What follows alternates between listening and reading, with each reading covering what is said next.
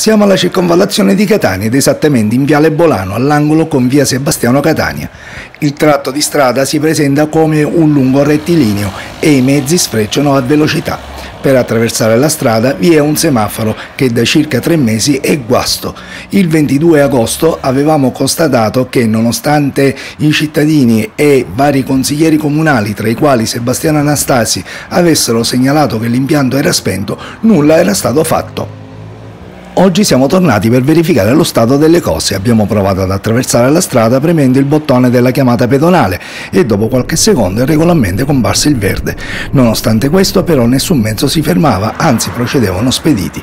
Ci siamo quindi insospettiti che qualcosa non andasse.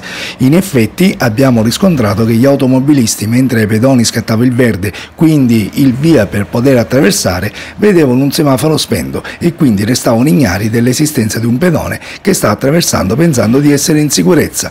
Situazione abbastanza pericolosa dunque, in un tratto di strada dove appunto i mezzi viaggiano a velocità sostenuta e dove la visibilità è scadente per via della vegetazione presente sui bordi stradali.